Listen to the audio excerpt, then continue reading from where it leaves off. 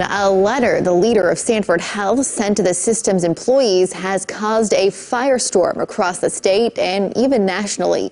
Kelby Krabbenhoft shared that he had recovered from COVID-19, but his comments about masking received the most attention. Sanford Health issued a statement today saying Krabbenhoft's email was based on his own experience and his personal opinions. They do not reflect the views of the health system. KELOLAND's Angela Kennecke secured the only television interview with Sanford's CEO.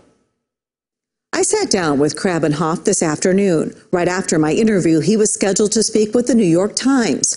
Krabbenhoft says his email has been misinterpreted. I asked him pointed questions about why Sanford Health has not come out in favor of a mask mandate and whether he was worried about his already taxed healthcare workers taking offense to his email. Krabbenhoft says he contracted the virus around Halloween after watching a football game on TV outside on his deck with a friend who ended up testing positive. It's almost the classic story now. Um, I had uh, at first so, so, minor that you kind of made fun of it. Uh, it felt like a cold, and then uh, and then I got to about day six or seven. I had a spike in temperature, uh, got up just at 100. I mean, it wasn't dangerous or anything but uh, started coughing, lost my sense of smell and taste, and uh, uh, went through the classic symptoms. Krabbenhoft quarantined and then returned to work a couple of weeks ago. This week, he wrote a letter to staff telling them about his experience. It was his comments on masks in the email that started a firestorm.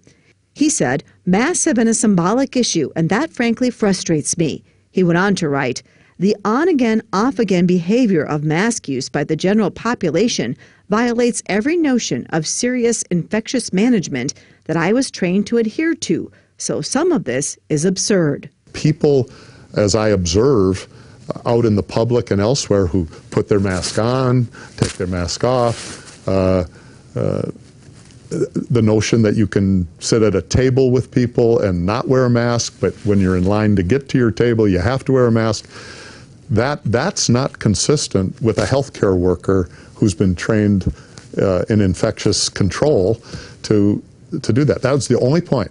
Krabbenhoft also wrote in the email, the information, science, truth, advice, and growing evidence is that I am immune for at least seven months and perhaps for years to come.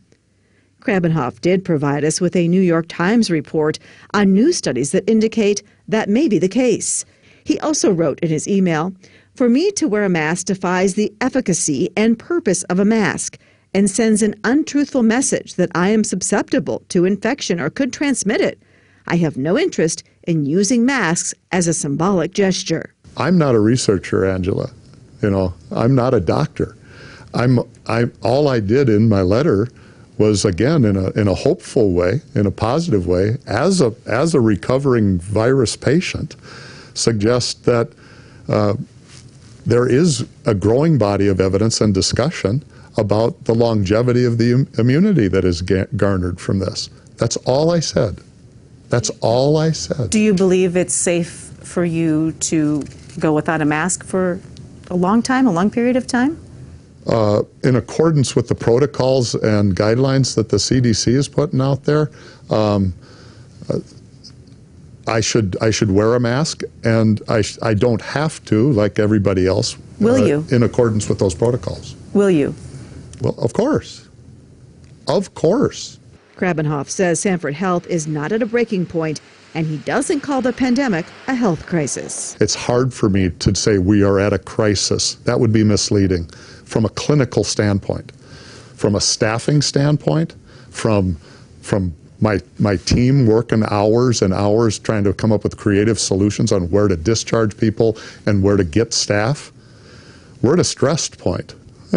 I understand that uh, staff is receiving daily emails requesting additional nursing shifts be picked up. Um, that internal medicine specialists have had to start admitting patients because hospitalists are overwhelmed. Yeah. Is that a crisis? That, that's trying. I, I, I can't uh, get to the word crisis because I've seen crisis. I've, I've seen uh, bus accidents that overwhelm an emergency room. You know, I've seen, I've seen real trauma. Um, we have a we have a surge of volume that was anticipated, that was that we're prepared for, that we have equipment, staff, and facilities for, and and so it's the word crisis to me is one that I think we should be very cautious using. Sanford Health did not endorse the mask mandate for the city of Sioux Falls, while Avera Health did.